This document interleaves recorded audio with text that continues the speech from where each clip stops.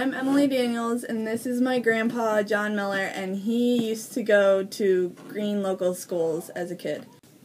So, what do you think of the new school buildings being built? Well, we went to the um, Groundbreaking? the groundbreaking, yes, and we saw all the plans and everything, and I think it looks like a wonderful building. What did you think about Green local schools?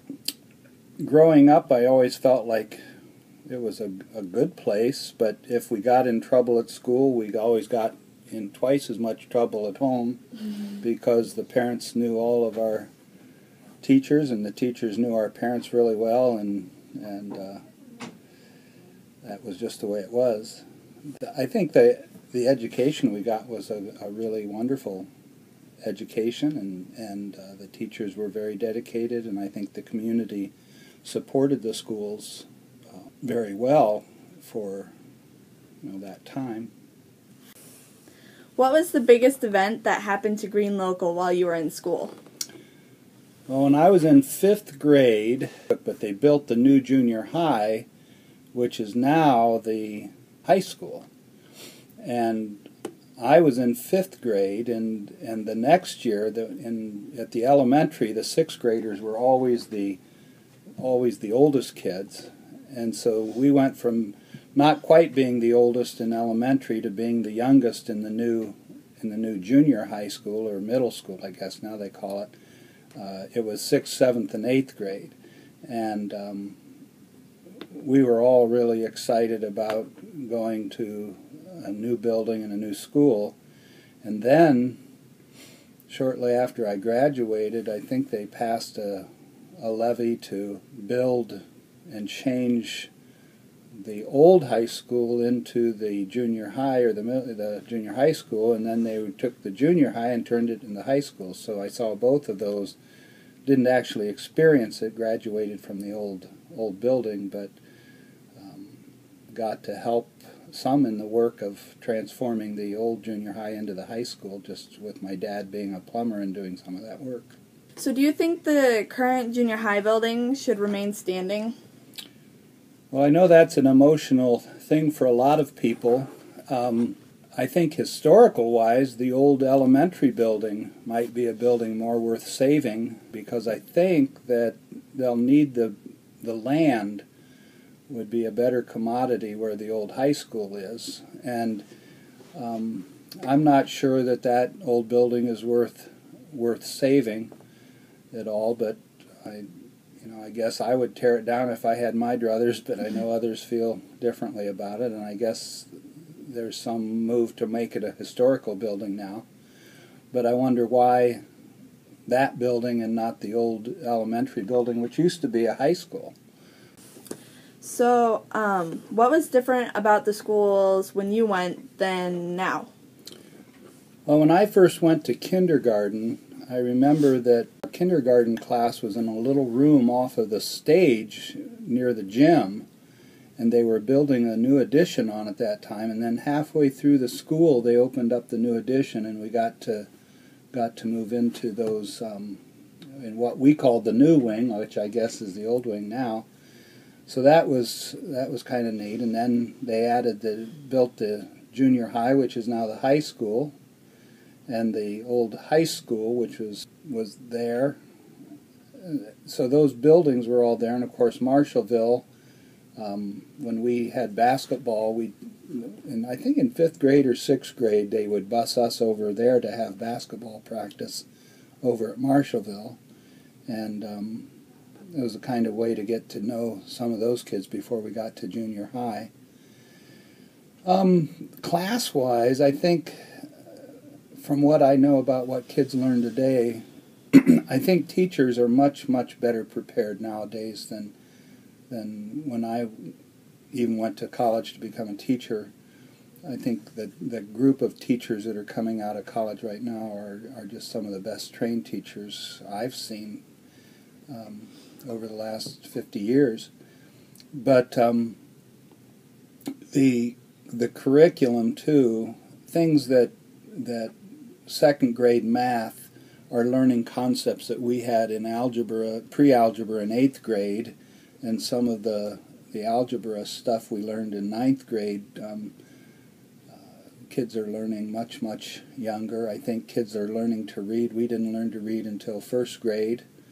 Um, now kids, I think, pretty much all know how to read by the time they're in kindergarten, and and it just seems like everything's been moved up a bit, uh, and the challenges are much great. And of course, the addition of computers, I think, has changed and probably is about to change education more in the next five or ten years than, than it has since computers were introduced in, in the early 80s.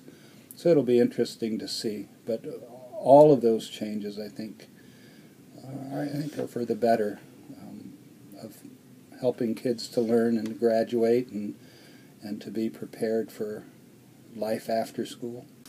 What are your favorite memories of Green Local?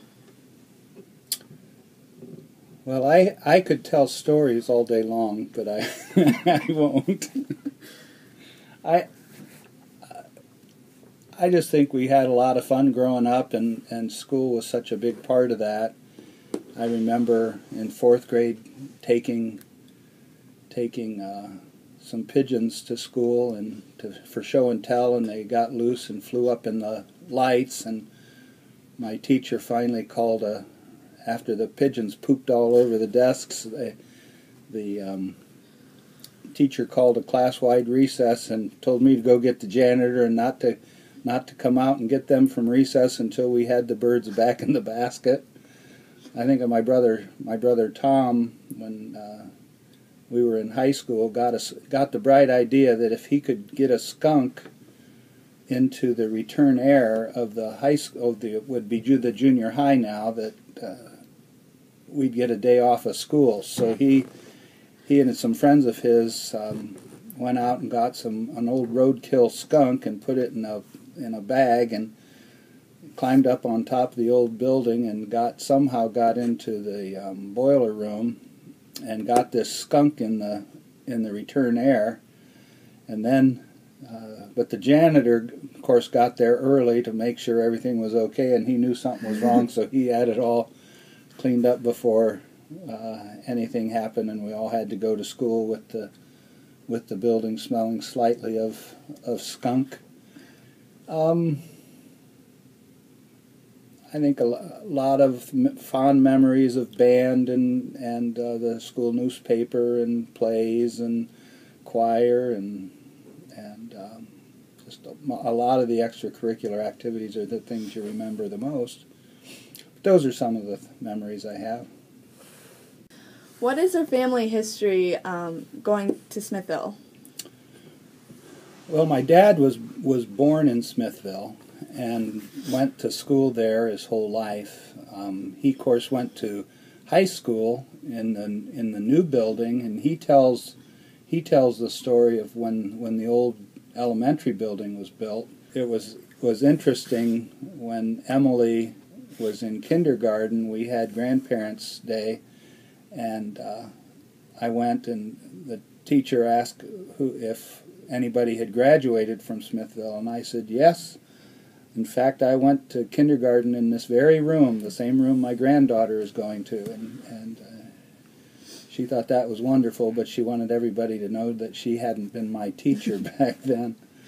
Of course, all my brothers, there were 11 of us that went to Smithville, and um, it was interesting growing up. I was the sixth child, and whenever the first day of school would come, all the teachers would say, "Oh no, not another Miller." they got kind of tired of having us, but uh,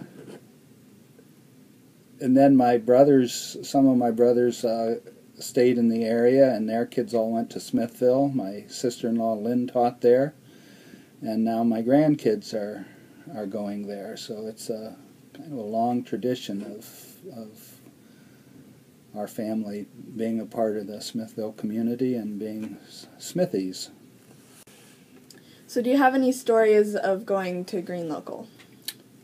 Well, one one story I remember really well. This was when we were in elementary, but we had gotten, and that was in the summertime. We had gotten our allowance, and we were going up to the old Hollinger uh, gas station, which is next to where the um, Ritten Omstedt's uh, grain elevator was. And uh, we were going to spend our allowance at the store. Well, we got halfway to the store and we were right at the high school and a thunderstorm broke out and we went tearing over and got under the um, in the entryway of the of what is now the junior high and um, all of a sudden a great big thunderbolt of lightning hit the bush right out in front of the building and it just it just split the bush apart caught it on fire. Dirt was flying all over the place. We were there were I don't know four or five of us there.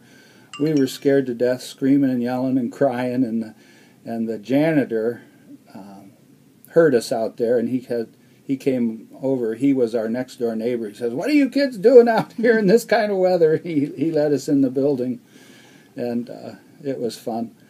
The um, I can remember in the old building afterwards, we often stayed to help set up for banquets or ban- you know things like that. And when we had the run of the school, when nobody else was there, we'd take skateboards and and uh, go down from the the old part of the building, going past the cafeteria into down that hall where the band used to be. I don't know what's there now. I, and and we'd see how far we could get down the new wing.